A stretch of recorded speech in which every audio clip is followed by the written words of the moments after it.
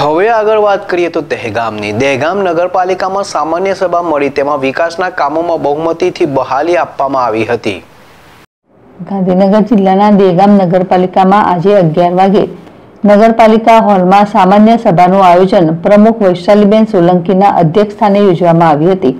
આ સામાન્ય સભામાં નગરપાલિકાના ચીફ ઓફિસર ઉર્મિલાબેન તથા કોર્પોરેટર પિન્ટુભાઈ અમીન, કોર્પોરેટર નિકુલભાઈ તેમજ કારોબારી ચેરમેન રિપલભાઈ શાહ તેમજ વિવિધ કોર્પોરેટરો ઉપસ્થિત રહેવા પામ્યા હતા. તેમાં વિવિધ વિકાસના કામો વંચાણે લેવામાં આવ્યા અને તેને સણાવટ કરવામાં આવી. પછી જેમાં પાણી, ગટર લાઇન, રોડ રસ્તાઓ તેમજ ટોટલ પ્રાથમિક સુવિધાઓ બાબતે પ્રમુખને સત્તા સોંપવામાં આવી અને દેગામ નગરપાલિકા વિસ્તારના જાહેર માર્ગો પર નડતર રૂપ વિનાની દુકાનો પરમિનેન્ટ કરવા માટે નગરપાલિકાની સમિતિમાં નિર્ણય લેવામાં આવ્યો. અને મંદિરો તોડવાની બાબતમાં હજી કોઈ નિર્ણય લેવાયો નથી. સુપ્રીમ કોર્ટનો નિર્ણય હોવાથી હાલમાં કોઈ કાર્યવાહી કરવામાં આવતી નથી તેવી માહિતી પ્રાપ્ત થવા પામી છે. ગઢસી ચૌહાણ, જેડેશ ટીવી, દેગામ.